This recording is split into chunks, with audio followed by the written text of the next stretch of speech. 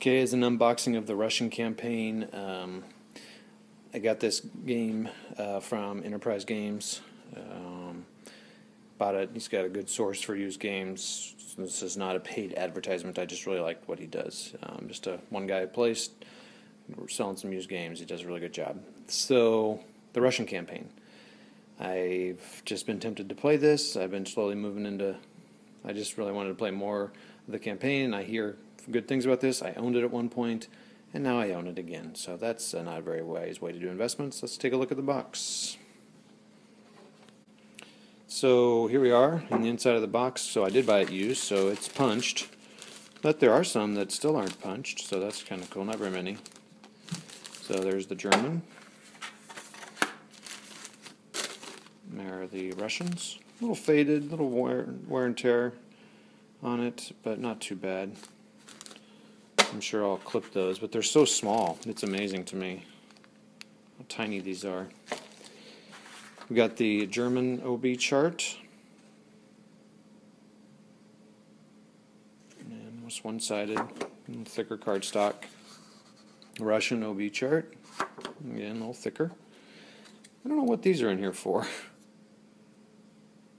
Keep the maps together, maybe? I don't know. There's like little, little clippy things. I don't know. I don't think those came with the game. These are the third edition rules. Um, I thought I was getting a second edition, so that's cool.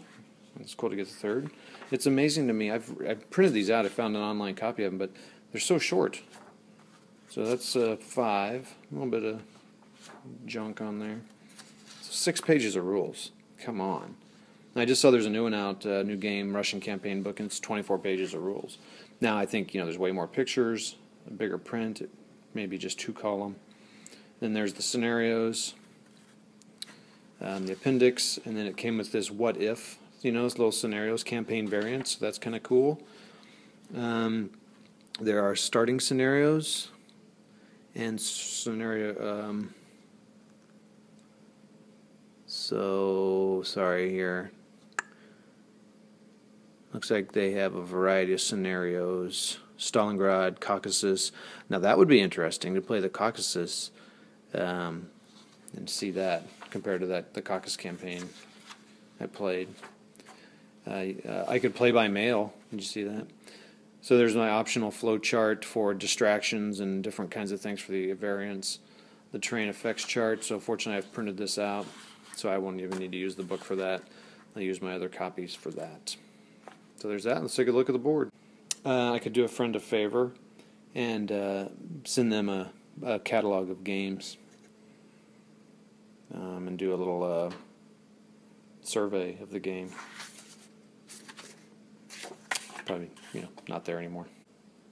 I like this like uh, leather snakeskin look that they had. So there's part of the board. Finland, Poland, and so there's the whole board in two pieces. It's uh, you know, mounted. I remember when I first got back into it and games weren't mounted, I thought, oh man, what a bummer they're not mounted. Now I think it's probably good their games aren't mounted anymore. I don't know why. But so there's the map. So it goes, it's kind of interesting, the orientation, it just looks weird.